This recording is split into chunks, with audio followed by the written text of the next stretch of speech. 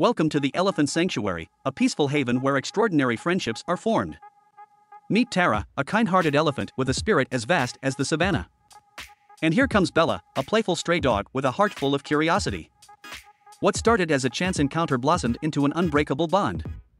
Tarra and Bella quickly became inseparable, sharing their days in laughter and joy. They explored every corner of the sanctuary, splashing in waterholes and reveling in the wonders of nature.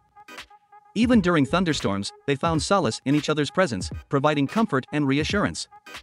The caretakers marveled at this extraordinary friendship, witnessing the purest form of love and compassion. Visitors from all walks of life were touched by Tarra and Bella's bond, their hearts warmed by the remarkable connection between two different species. As the sun sets on another beautiful day, Tarra and Bella's friendship remains an enduring symbol of love, reminding us that true friendships can transcend boundaries. Join us next time as we explore more heartwarming stories of animals and the incredible connections they forge.